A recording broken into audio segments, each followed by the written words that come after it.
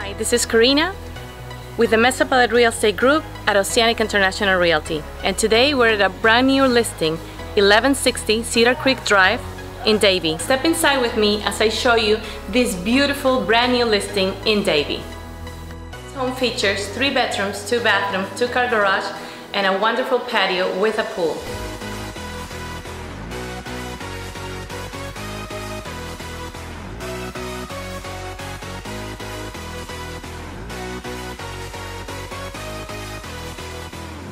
One of the great features of this home is the sticky hut, right on this wonderful patio where you can entertain as many people as you can. It's here for you to enjoy it.